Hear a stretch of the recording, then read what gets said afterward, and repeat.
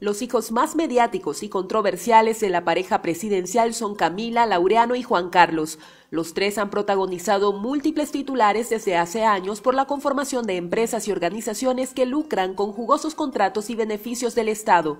Su otra hija conocida, pero no porque ellos quieran, es Soy la América, cuya denuncia de abuso sexual por parte de Daniel Ortega trascendió fronteras y se convirtió en un karma familiar que con cierta frecuencia revive en la esfera pública.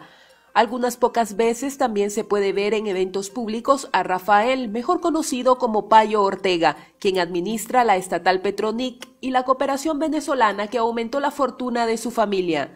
También se ha visto, aunque con muy bajo perfil y poco interés incluso de los medios de sus propios padres, a Luciana, quien junto a Camila y otro de poca exposición, Maurice, dirigen el Canal 13 de televisión pero Rosario Murillo tuvo 10 hijos en total, cuatro de relaciones anteriores y seis de su vínculo con Daniel Ortega, iniciado en 1977 en Costa Rica.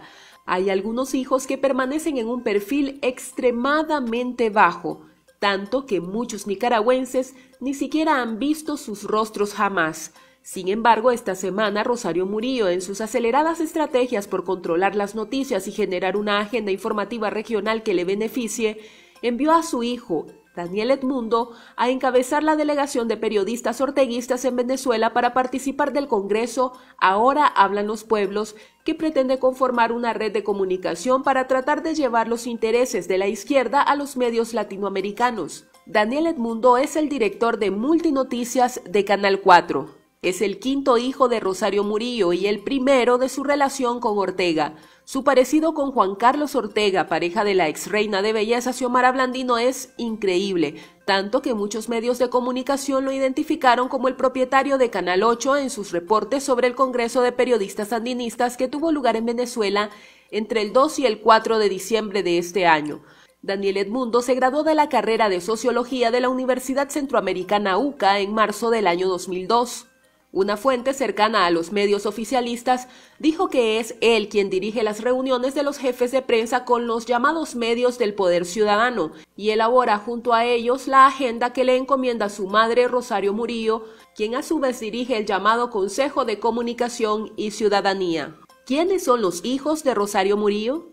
En 1967, cuando tenía 15 años, nació su primera hija, Soy la América Narváez Murillo, de su relación con Jorge Narváez Parajón.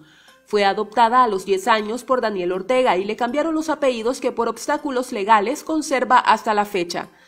En 1968 nació Rafael Antonio Narváez Murillo, también de Parajón. Igual fue adoptado por Ortega y ahora que Soy la América fue excluida de la familia, es considerado el primogénito.